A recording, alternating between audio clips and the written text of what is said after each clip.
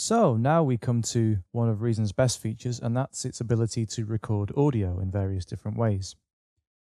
In previous sections, we've had a look at how audio is routed a little bit, but now we're going to have a look at how you can record audio and work with audio inside Reason. So the first thing that you'll need to do, of course, is to have some sort of audio interface attached to your Mac. Um, now, you can use the built-in sound card if you like. That will work, but it won't be fantastic quality compared to an audio interface, and it also won't offer you great latency settings. And latency is the gap between playing a note, in this case, making a sound, and hearing it back through the software. Now, latency isn't a huge problem in Reason because it's nicely optimized for faster computers. And if you go into the audio preferences, we looked at this in the first setting up section. Here, you can see that I have my buffer size set to 256 samples, which is a nice trade off between not placing too much of a strain on the computer, but also enabling sound to get in and out without any significant delays. Again, in the setup section, we looked at the input and output channels. Mine happens to only have two. This one I'm using at the moment. Uh, you can click the control panel button and um, just check out exactly what's set up on your system.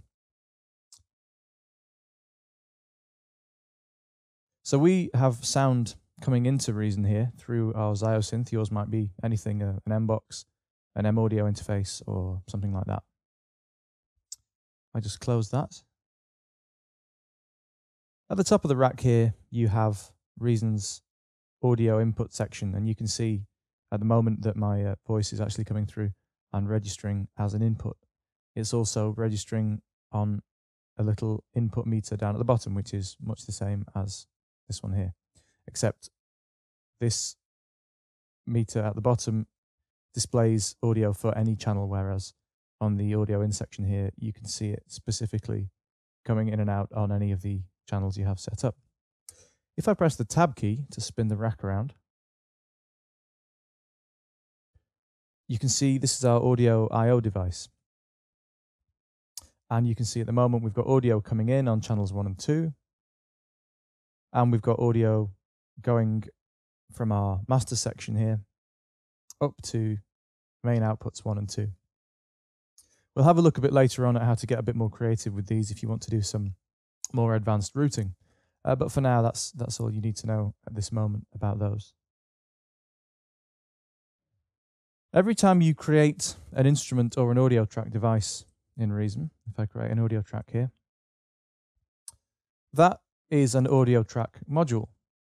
And that is basically a way of connecting the sequencer track to the mixer up here. So audio is recorded into the sequencer. It goes through an audio track module in the rack and it's then sent to the mixer. And from the mixer, it's sent to the main audio outputs of Reason. If I create uh, an instrument, let's say, it doesn't really matter what it is, Thor, uh, that gets a mix module. And that has much the same function as an audio track module, uh, except that it, it acts as an interface not between an audio track and the mixer, but between an instrument's audio outputs and the mixer. You can rename these fairly easily. That's quite important when you start to get slightly larger projects. And if I minimize the rack and have a look, in fact, let's have a look at the mixer. There we go. Every device in the rack has a mixer channel you can navigate these rather large control strips using this shortcut bar at the right. And all of these mixer channels are the same in the sense that they have the same controls on them.